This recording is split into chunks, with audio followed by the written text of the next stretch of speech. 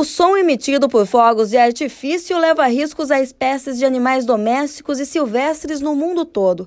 Principalmente durante o Ano Novo, há relatos de cães e gatos que fugiram, se machucaram e tiveram ataques de pânico e até desmaios durante shows pirotécnicos nas proximidades de chácaras ou residências, por conta de ouvidos sensíveis.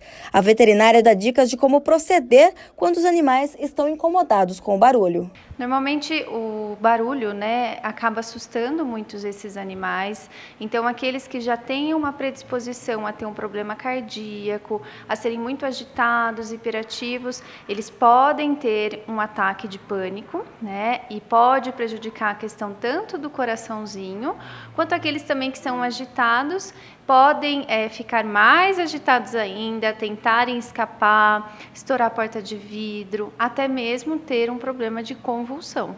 Algumas atitudes podem amenizar o medo dos bichinhos. É, normalmente acaba sendo, tem que o, o, proprietário que já sabe que o animal tem algum problema, que ele é muito agitado, tem medo de fogos ou tem probleminha no coração, tem que ficar junto no, na passagem do ano, nesses, nesses momentos de barulho, tem que tentar acalmar o seu animal, deixar ele o mais calmo possível, tentar não mudar ele de ambiente, deixar ele no seu local, né? Normalmente em casa eles ficam mais tranquilos do que você levar para um outro lugar.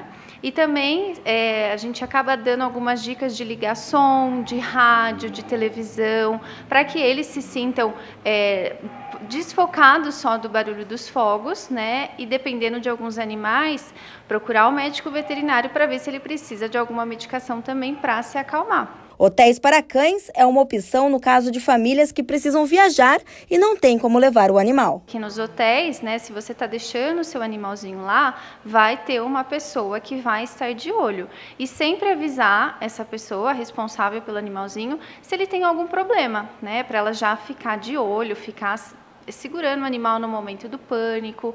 Também, às vezes, a gente acaba indicando colocar algodão no ouvidinho daquele animal que é muito, tem muito medo do, do barulho, né? Que são técnicas simples, mas que acabam ajudando.